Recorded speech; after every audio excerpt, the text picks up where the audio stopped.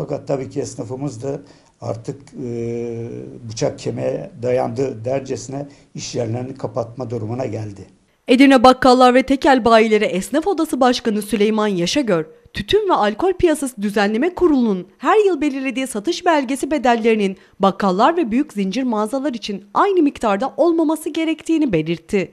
Tütün ve alkol piyasasının her yıl belirlemiş olduğu harç bedelleri vardır. Bizim esnafımız sigara ve alkol satışları için her yıl ruhsat almak mecburiyeti vardır.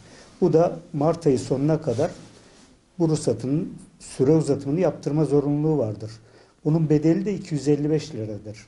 Sigara için tütün satabilmesi için 255 lira, alkol ve bira satabilmesi için de 255 lira olarak belirlenmiştir. Bu yıl bu yıllık olarak ama her yılda bunun artışı yapılmaktadır. Yaşagör yaptığı açıklamada Mart ayı sonunda ruhsat uzatma süresi için 255 lira talep edildiğini belirterek alkol ve tütün mamulleri satılabilmesi için aynı miktarın ödenmesi gerektiğini, bunu da küçük esnafı zor durumda bıraktığını söyledi. Esasında esnaf bakkalımız e, gelir vergisi olarak kazanmış olduğu e, karlılığından gelir vergisi olarak bunun vergisini ödüyor. Ama ayrıca harç bedeli olarak alınan bu miktar bizim esnafımıza ağır geliyor. Büyük alışveriş merkezlerindeki iş yerleri ve bakkalların aynı miktarda ödeme yaptığını belirten Yaşagör, bunun haksızlık olduğunu savundu. Oda Başkanı Yaşagör, en küçük bakkal ile en büyük alışveriş merkezindeki bir iş yeri aynı parayı ödüyor. Burada adaletsizlik olduğunu düşünüyoruz. Bunların sınıflandırılması gerekir. Dolayısıyla kendi cirolarına göre bu miktarlar belirlenirse daha adaletli olacaktır diyoruz dedi. Bir de şöyle bir konu var burada. Biliyorsunuz işte büyük alışveriş merkezlerinden zincir marketlerin satışları bizim bakkalımıza orantılı olarak baktığımızda daha yüksek rakamlar olmasına rağmen bakkaldan aynı parayı ödüyorlar.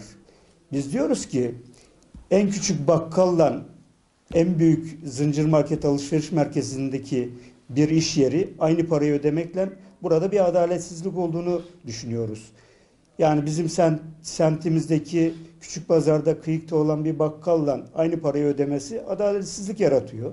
Bunların sınıflandırma şeklinde yapılmasını düşünüyor, istiyoruz.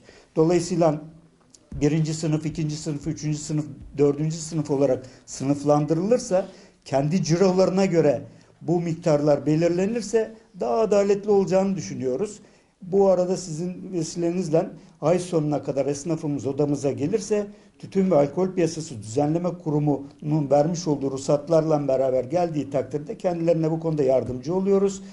Arç bedellerinin yatımı konumunda ve süre uzatımlarının yapılması konusunda kendilerine yardımcı oluyoruz. Ay sonunu geçirmemek kaydıyla odamıza müracaat etmelerini kendilerine iletmek istiyorum.